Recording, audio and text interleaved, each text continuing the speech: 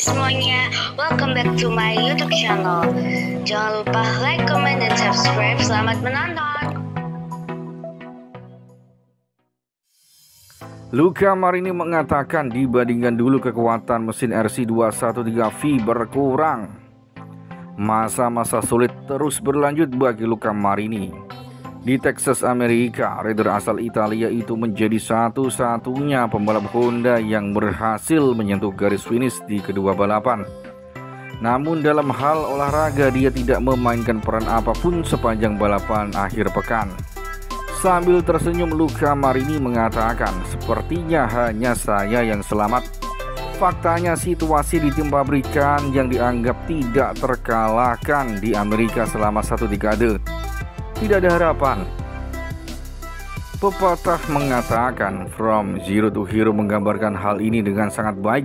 Jatuhnya seperti terjun bebas. Honda masih mampu meraih kemenangan di Texas pada 2023 berkat Alex Rins. Saat itu masih di tim LCR, tapi Marini hanya mampu finish paling buncit musim ini. Luka Marini setidaknya mampu memperebutkan posisi di GP Portugal namun dia tidak pernah mampu mengimbangi kecepatan lintasan di titik mana pun di GP Amerika. Tragisnya lagi bahkan Alex Marquez yang terjatuh di tengah balapan tapi kemudian mampu bangkit kembali dan melaju dari posisi paling belakang. Berhasil mengejar Luka Marini. Lima lap sebelum akhir adik Valentin Rossi yang malang itu kembali tertinggal dan kehilangan poin. Tidak berbahasa basi, Luka Marini menegaskan bahwa faktanya adalah dia berjuang sekuat tenaga untuk mendapatkan poin terakhir seperti yang ia lakukan untuk finish di posisi dua tahun lalu. Dan dia gagal. Namun pada saat ini segalanya benar-benar tidak terlihat bagus. Tahun lalu Rin menang satu kali tapi tahun ini Honda jauh dari para rival lainnya. Luka Marini melanjutkan, saya punya ide tentang arah yang harus kita tuju dan para insinyur dari Jepang juga memiliki semua data dan sikap yang sama. Saya juga berusaha keras untuk memberikan masukan terbaik dan seakurat mungkin kepada teknisi.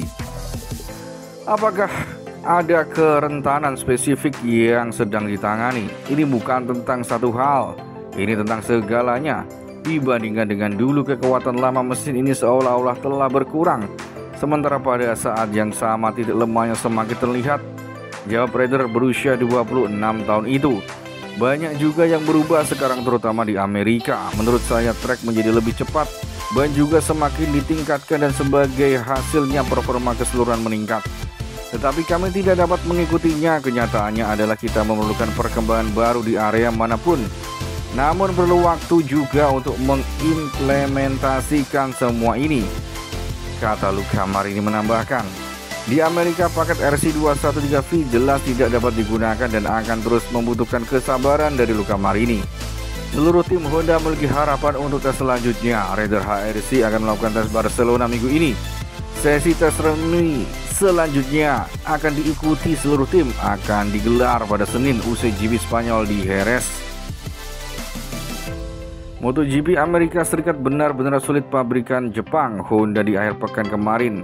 Semua pembalap mereka terjatuh dan gagal finish di kedua balapan, sprint dan balapan utama kecuali satu orang, Luka Marini.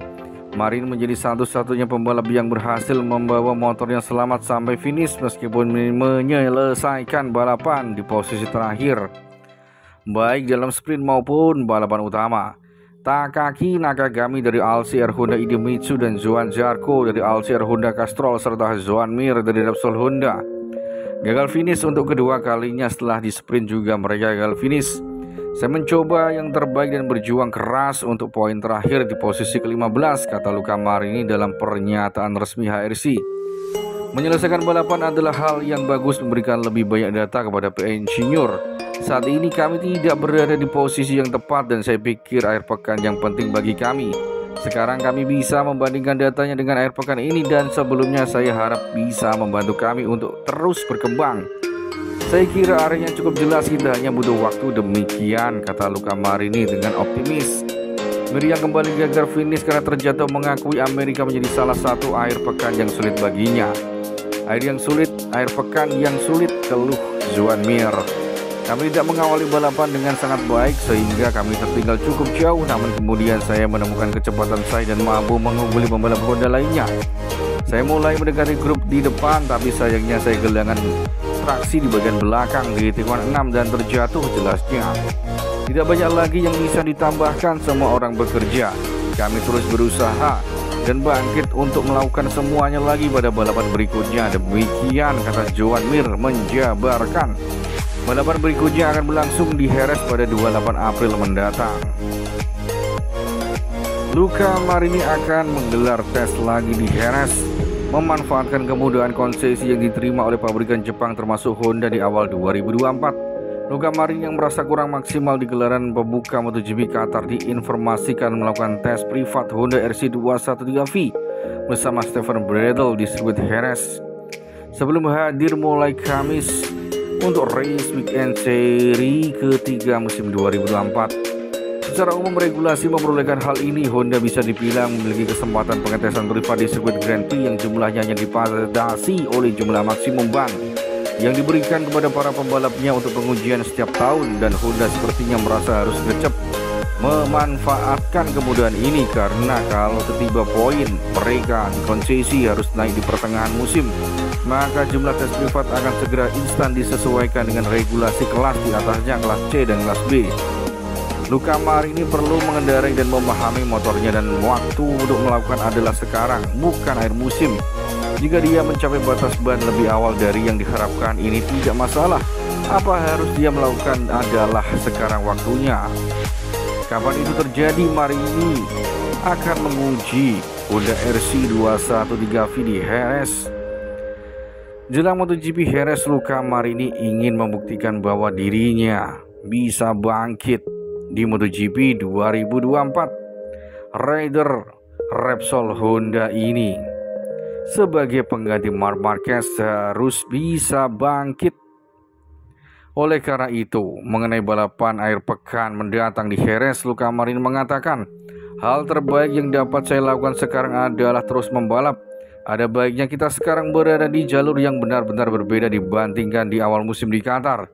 Itu sebabnya saya bersemangat melihat bagaimana Honda akan bekerja di sana. Adik Valentino Rossi itu melanjutkan kami sedang dalam proses pengembangan dan terus mengumpulkan informasi dan data di berbagai lintasan kami ingin menemukan feeling yang lebih baik dengan motor agar lebih kompetitif. Di Portimao 2023, Alex Rin masih di LCR menjadi pembalap terbaik RC213V dengan finish di posisi 10 tertinggal 11 detik dari pemenang Peko Banyaya. Beberapa minggu lalu Marini juga berada di sudut Algarve pada saat itu. Akademi Framato menyewa seluruh trek balap tersebut dengan Marini mengendari CBR 1000RR untuk lebih menginternalisasi sirkuit memiliki layout bak roller coaster itu. Maka dari itu Luka Marini harus bisa mengatasi kesulitan bersama tim Repsol Honda.